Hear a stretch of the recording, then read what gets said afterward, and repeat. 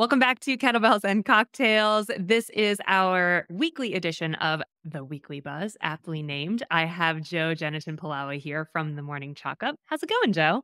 All right, Nikki, how are you?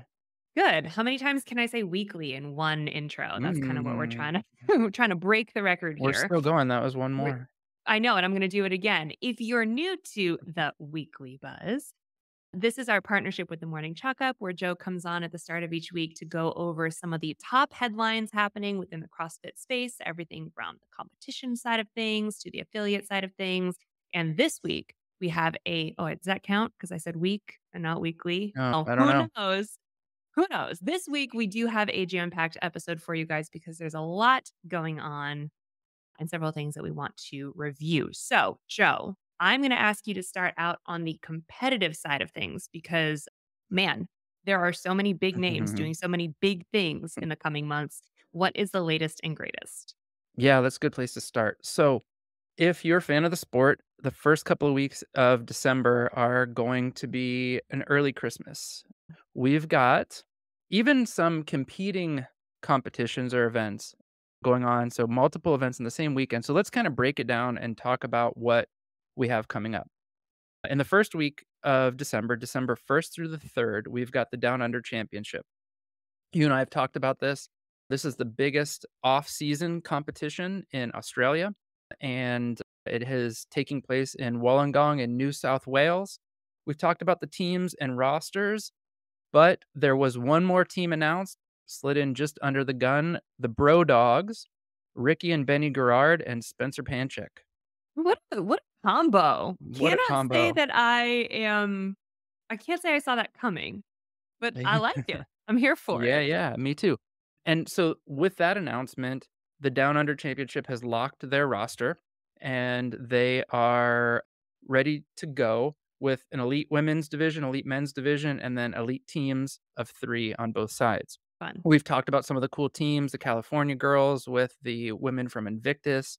We've talked about the team of Chandler Smith, Noah Olson, and Tola Morakinyo, and some of the other folks who are showing up. Sara Sigmundsdottir on the individual side, Annika Greer, a bunch of the Australian homegrown favorites, Maddie Sturt, Laura Clifton, among others. The team Frog Grips on the men's side with some of the Australian elite men. Really looks like a cool competition. They will have a live stream. So the- Great. yeah, That's so great. so they'll have all the action live streamed on YouTube on their YouTube channel. If you are on our side of the globe, pay attention to the time change, obviously. Yeah. But that will be the first weekend in December. The next weekend is when things start to get really crazy. December 8th through the 10th, there are two big, big events going on. One is the Dubai Fitness Championship taking Right. place annually in Dubai and the United Arab Emirates this year, invitation only. And simultaneously, in Birmingham, UK, FitFest 2023, which will include, amongst a bunch of really interesting community events, a pro CrossFit athlete showcase. Let's start with Dubai. So, at least one athlete, I think, having gone through the rosters, one athlete will be hopping on a plane on the 3rd or 4th of December and heading to Dubai from down under, and that is Get Ricky out. Garard. Get Ricky out. is competing on the team side at down under and then heading to Dubai for the individual event. Huh. Oh my goodness. That's a mm-hmm. lot of work. I wonder what Justin That's a has to say about that. We would have to ask. Absolutely. The competition has been announcing, slowly rolling out athletes and some really big names. We've got Roman Khrennikov will be competing there alongside Ricky, Jonne Koski, um, Lazar Jukic, as well as a lot of great European athletes so far on the men's side. David, Stro- David Bronislaw is going to be competing, Reggie Fasa, among others. I'm leaving some folks out here, but there will be Did more I- announcements. Hold on, wait. Yeah. This is important. Did I ever tell you about the time that I asked Braun if anyone calls him the Brawny Man ever? Which is a hilarious joke. This was years ago. This was a million years ago. Nobody knew who he was, but I had gone to Dubai a few times for Mhm. DFC, DCC, whatever it was over those years.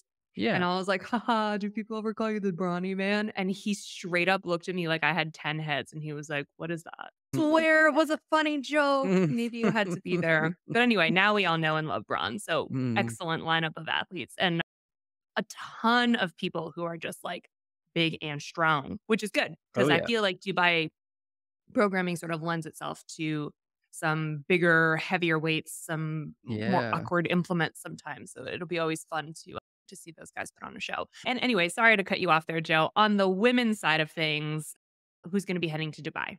Yeah, similar story. A couple of women from this side of the world, Emily Rolfe and Lauren Fisher, are both making the trip. Fisher coming off that great performance at Rogue la- uh, Yeah. last week, as well as some great European athletes, Karin Frey, Andrea Solberg, Taylor Howe, as well as some of the standout Middle Eastern athletes as well, Sarah Kaya and Shahed Bedebs.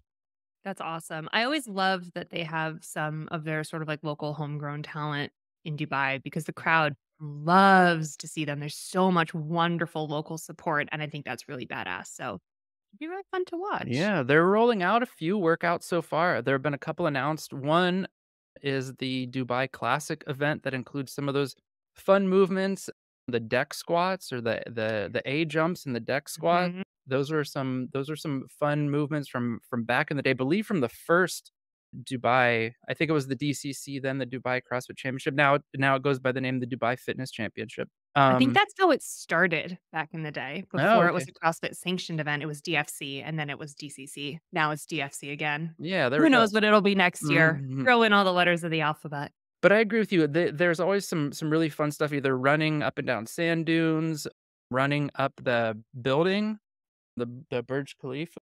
Um, Mhm. There's all always oh. cool stuff in the water there. Yeah, Like they're yeah. in sort of like different areas that that have access to big waves or oh my gosh, indoor ski slope stuff. Oh, There's yeah, running so up the many ski slope, yeah. yeah, Yeah, so many different things that you can do in Dubai and they take advantage of all of it. So I love when yeah. competitions really make it their own by incorporating some of their local local things like that. So very cool. Yeah. So super fun. We're gonna be continuing to watch for more roster announcements there. I think we're expecting somewhere between maybe 5 to 7 more, uh, announcements, um, over the next couple of weeks here. And then heading back over to the FitFest 2023. Now, this is being billed as an athlete showcase. So there are 3 teams that are uh, that are each captained by a a female athlete. So we've got Team Danielle Brandon, Team Emma Lawson, and Team Ella Vunger. And these are teams of 6 total athletes, 3 and 3. So Team Vunger, for example, has Ella Vunger, Alex Gazan, Kelsey Keel, Pat Vellner, Jack Farlow, and Yella Hosty. Emma Lawson's team includes Emma, Jennifer Muir, Lucy McGonigal, Nick Matthew, Brent Fikowski, and Enrico Zanoni. And Danielle Brandon's team includes Brandon, Arielle Loewen, Dallin Pepper, Thuri Helgadottir, Jason Hopper, and BKG. Dang. So this is a a super cool showcase of Mhm. some amazing athletes. They will compete over 2 days, and each one of those days will have 2 competition blocks, so between an hour and a half and 2 hours. That's all I know about the schedule as of right now, but, oh man, I can't wait to see what how this is gonna play out. Yeah, it's really cool. And so the whole point of FitFest is all of these sort of community style events that have I would I call us everyday CrossFitters, right? Yeah. Like anyone who wants to kind of show up off the street, our weekend warrior people, people who are going to local affiliates or whatever. And then the elite part of it is just uh is kind of just for us to watch for fun. Like they're not really eh, they they're going to get bragging rights. They're probably all being paid to be there. But it's not a real traditional competition. It's just hey, while all this stuff is happening, this fun festival of fitness, Mhm. you also get to watch some of the best names in the world do their thing, and it's kind of like all in one. So so you're exactly right. This is a Cool. super cool event all around. Some of it's community based and and and I'll mention a couple of those events, but there's some other high level competition going on here as well that's I I'm not sh not a showcase or exhibition, but but actual competition. But the English Weightlifting Championships is going to take place during this weekend, Oh, during the event. The British Indoor Rowing Championships are going to be going on. And then the on the community side, as you mentioned, Strength and Depth is running a community event called the Triple Threat. And there's another event going on called the AHX Games Open. And this I was reading about looks really cool. It's kind of in the style of a HYROX race in that you're doing a bunch of different stuff in a row and it and it takes I believe it it, goes over the course of an hour and a half to 2 hours, but there Mhm. are breaks built in. So you you get 20 minutes to build up to I believe it's a it's a heavy shoulder press and then a 10 rep max back squat. But then you get a 20 minute window to go to the nutrition and recovery area.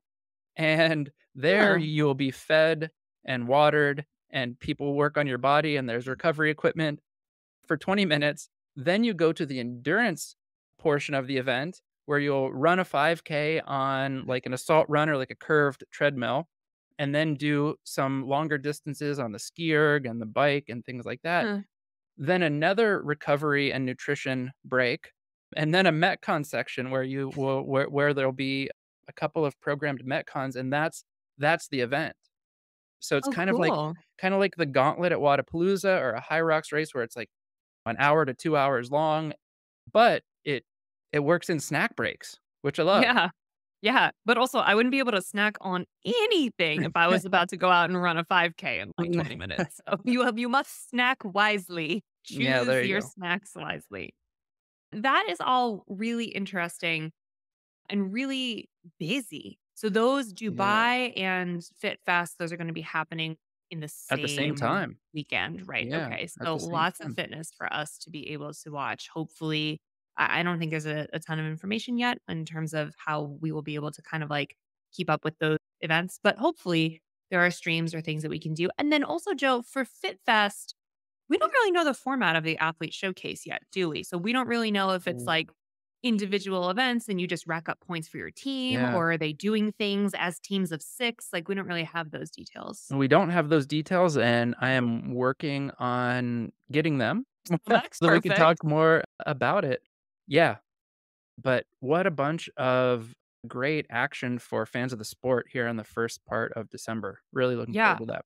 I'm ready. And that also is friggin' tomorrow. It feels Oh like my we're gosh. already we're Yeah, already a week into November. I don't even know I uh, where this year is going. End of the year Later later later this week, the Morning Chalk Up is publishing a piece on if you wanna crush the open, what you should be doing now. Not ready for that, Mm, Joe. You mhm. keep that article right to yourself. I am not ready to think about how not ready I am for the open. But hey, let's let's turn our attention to affiliate and community. We published a really cool piece last week with Scott Panchik on how to avoid burnout. We talk about this with elite athletes, particularly in the last year or two. We've seen some high profile athletes talk about burnout, take a season off, or just talk about how they've they've at various points in their careers dealt with this. Panchik as kind of like a Cal Ripken type figure, meaning the sort of long streak of really consistent high performance, had some great insight for us. I think some of these things, well, all of these things are for, as you said, kind of the everyday CrossFitter. It's not just for Mhm. the elite athlete here, but we always talk about overtraining.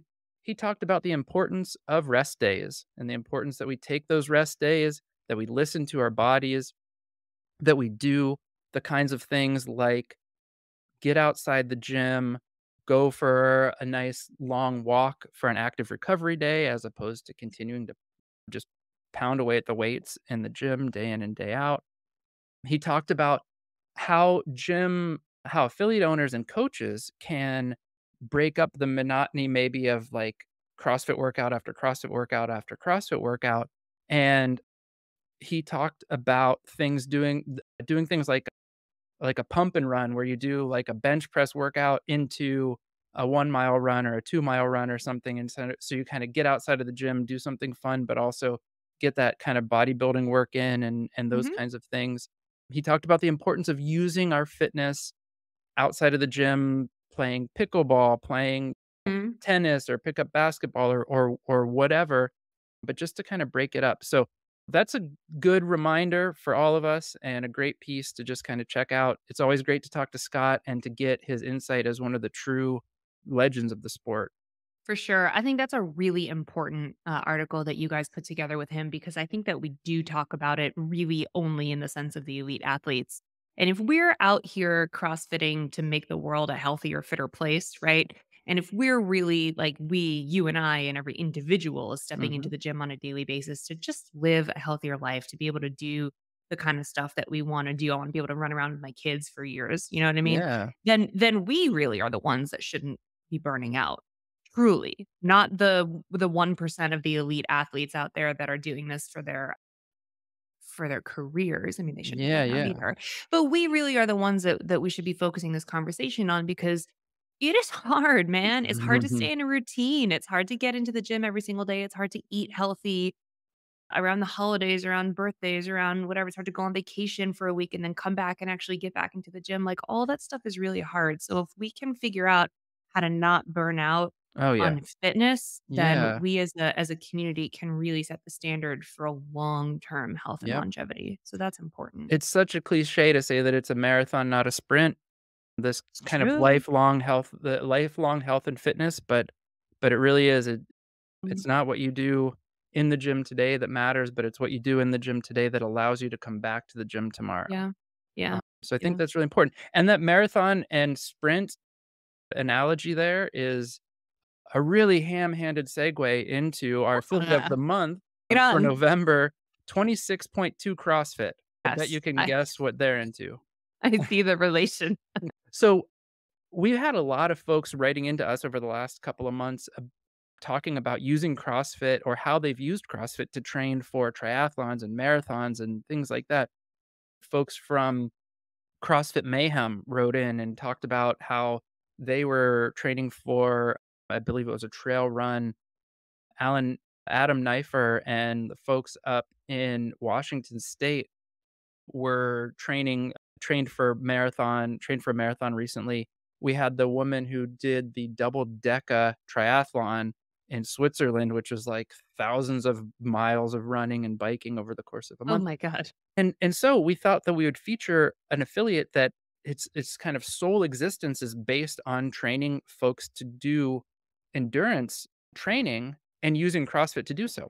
So this gym was it's it's a, a 14 year affiliate at this point, and it's run by a coach named Ali Newell.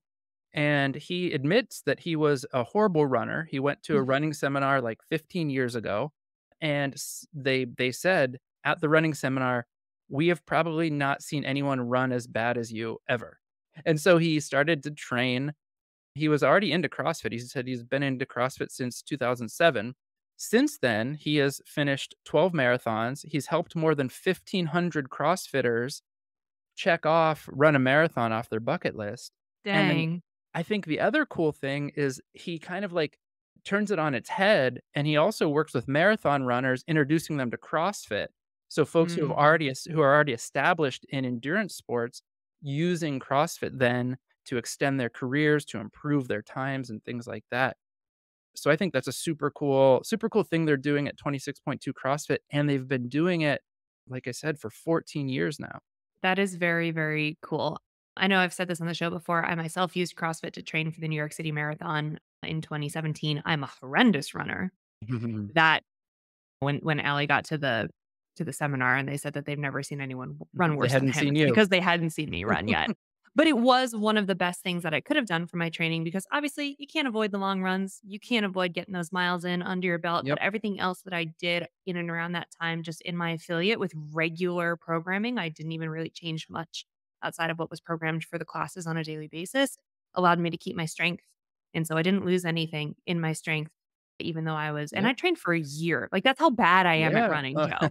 I needed 12 months of training under my belt. I Mhm. started really slow, but was able to get right back to my numbers and never had to adjust my numbers for anything. And, and That's awesome. and that's really what he does. He, talked with us about how for the for the for people who just want to finish a marathon, they're not trying to run a sub three hour marathon or ru- run a Right. two and a half hour or whatever kind of marathon. They're wanting to finish a marathon. They basically do two two long runs a week, and the rest of the time they're doing CrossFit. So these are folks that he conditions and trains to run 26.2 miles, having never run more than 12 miles in a training run. So I think that's pretty cool. Wow. I need to get on that kind of plan for my next one then. Mhm, That sounds mhm. way better than what I did. Let's Yeah. uh let's just do a quick little roundup to to wrap things up for today. There's a few little news news bits here. Dale King, who you and John are interviewing this week, Yes. is programming CrossFit.com Very um, cool. for this two week block. It started today. His first workout, the first workout he programmed was the Hero Workout Liam, but which involves some running, toes to bar, front squats. I forget what else. It's a it's a it's a killer workout. And and the running is a plate run, so it's a burden run. Yeah. Oh, rope climbs. That's what it is. Sorry. Toes to bar rope climbs and front squats in the middle between two 800 meter runs with a plate. So that's his Right. first workout. He is going to program 13 more. So we'll get a chance to see what he what he has in mind for us. And for those who need the reminder, Dale King is the kind of the the, the center figure for the documentary Small Town Strong about the ways in which he and his affiliate and his businesses in Portsmouth, Ohio, are using fitness, using CrossFit methodology to help people fight um, their opioid addiction and helping um, the community fight the broader fight against opioid addiction um, in in Ohio. Yeah, that's right. Dale's a great guy. He's been on our show many, many times. We are going to interview him again this week. And so that show should air sometimes next week as well. We'll talk to him about all the programming Yeah, uh, that he's working on for the site. We'll talk to him about the movie, whatever else he's got going on. He's sort of like a leader on the affiliate side of things yeah, as well. And so it's always good to catch up with him. I'm super excited to chat with him soon. yeah, awesome. And then we've got Rowvember just started. First, Things can we make out of the word November? That's the real question. Let's keep trying. Mhm, Okay, mhm. Rowvember. Got it. so this is the fifth year in a row. Dark Horse Rowing is running Rowvember. It is a month long pre holiday challenge. Shane Farmer at Dark Horse puts together a rowing workout every day for those who sign up. And you can still sign up. You can sign up at any point. And the goal is to complete as many of those rowing workouts throughout the month as possible. Last year, they had about 8,000 people sign up, and their goal is to get 10,000 this month. Dang, what a great idea. And you know what? We're all, all of us are always like, I need to improve my rowing form. And how many of Mhm, us, how many of us are like, you know what, for mhm. 30 days, I'm going to sit down and commit to it. So if you, if you're one of those people, maybe now's your chance. Be like, here's the thing. Everything's going to be programmed for me. All I got to do is put Yep. my butt on a Just rower sit get your butt sit your butt in the seat. Actually, that's not all you have to do, but I guess you the have to actually work out. that's the start. And then one more thing, The Crown, which was an elite teen competition in Majorca, Spain, run by the program and John Singleton last year, just released their documentary of their inaugural event. And the Oh, thing that cool. is very cool about this event, so it focuses on teen athletes, and for the first year, primarily um, European teen athletes. And it's kind of like a, if you're like old school, the, like the real world on MTV.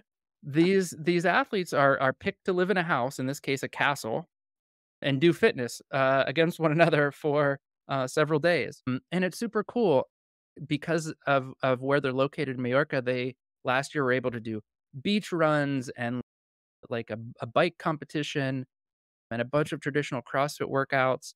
And it, they're partnered with Nike. And so Wow. each one of the athletes kind of gets a full kit of, of Nike gear. And the qualifier for this year's event is has just begun. So we will have a story out in the newsletter tomorrow morning with links to the documentary, with links to their website and their qualifier information. So if you're an athlete between the ages of 14 and 20 and you want to try to qualify for the for this year's version of the crown, it is open now. Dang. Okay. So is there drama in the house the way that there is in the real world, or is it really about the fitness? That's the real question. we, we talked to John about this and he said like he kind of expected there to maybe be a little tension because they're competing hmm against one another. He said it wasn't it, they just all gelled came together cheering one another on like the stories you hear out of the Pit Fitness Ranch where the teens just all come together and and and cheer each other on and, and help each other throughout the week. truly. I mean, John and I talk about this. John Woolley, not to be Mhm, confused with John Singleton, but mhm. John, John and I talk about this on the show all the time. That is something really magical is happening within the early stages of CrossFit when kids and teens are getting into it, where they are really just developing into wonderful, respectful Yeah. young adults. And I suppose it's that way truly with anything that a kid really has to commit fully to. So any type of sport that they get pretty serious about or an academic subject they get really Sure. serious about. Like if if a young person has the drive to really commit to something, really work on something, and maybe put some other fun stuff on the back burner in Mhm. order to get good at their specialty, then they oftentimes have the I don't know what it is. They have the focus or they have the wherewithal to also be kind of just kind and respectful and genuine human beings. So that's really great to see. Yeah, I love seeing these these kind of events being developed and things like that because we've got a couple of really outstanding young athletes at at my home affiliate, and they're always training alone. And, Mm. just because there there aren't dozens and dozens and hundreds of fourteen-year-olds who are training at an elite CrossFit level, um, Right. so when so when they are able to get together, I think that's really cool. Yeah, Um, I you know, agree. It does something to them too. There's something really special that happens that gives them more confidence and gives Yeah, them some yeah. a little bit of a little bit of juice to come home and continue training on their own if and when necessary. So that's cool. Yeah. Well, Nikki, that's Well, what I have for today.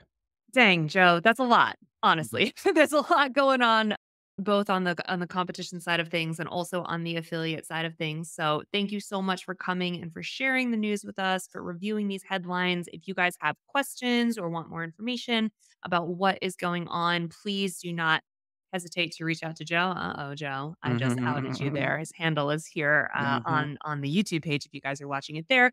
Or check out the Morning Chalk Up that has links to these full stories with a lot more information and context and even more coming throughout the week as well. That is going to wrap it up for us here on the Weekly Buzz. Thank you guys so much for listening, and we will chat with you soon.